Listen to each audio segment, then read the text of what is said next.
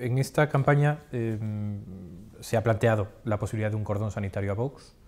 La propia candidata del Partido Popular ha dicho, eh, si tampoco les gusta Vox, eh, y hay mayoría encabezada por ella, eh, haga un cordón sanitario apoyándome a mí. Es decir, ¿usted estaría a favor de evitar la influencia de Vox facilitando un, gobierno de Ayuso? Eso es un truco de la señora Ayuso.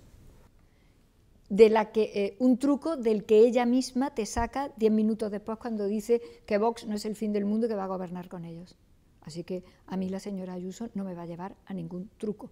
Ella sabrá lo que tiene que hacer, ella sabrá lo que tiene que hacer y ojalá Madrid, territorio de comunidad y capital de Europa, no sea la capital de Europa que la gobierne a través de la comunidad autónoma, nada más y nada menos que la ultraderecha española. Pues eso es un truco de la señora Ayuso.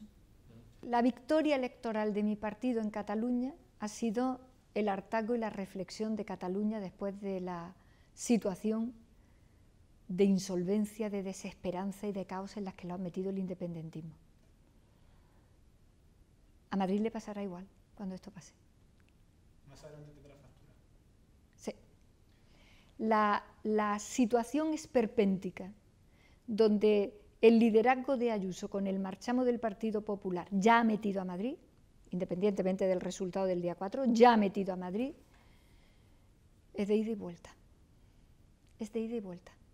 Con toda seguridad es de ida y vuelta.